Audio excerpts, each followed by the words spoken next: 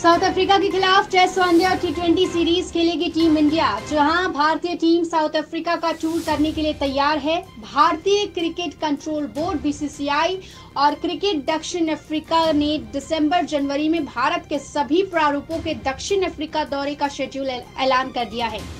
ये दौरा 10 दिसंबर से तीन मैचों की टी ट्वेंटी सीरीज़ से शुरू होगा।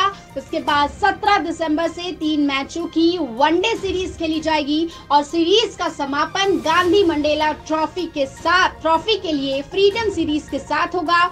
जिसमें दो टेस्ट शामिल है। पहला टेस्ट 26 दिसंबर तो वही दूसरा टेस्ट 3 जनवरी को खेला जाएगा।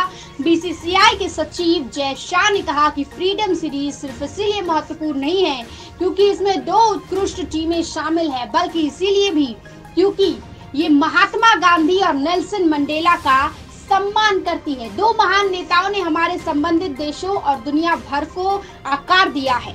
ऐसा सीरीज़ का सभी को बेसब्री से इंतज़ार।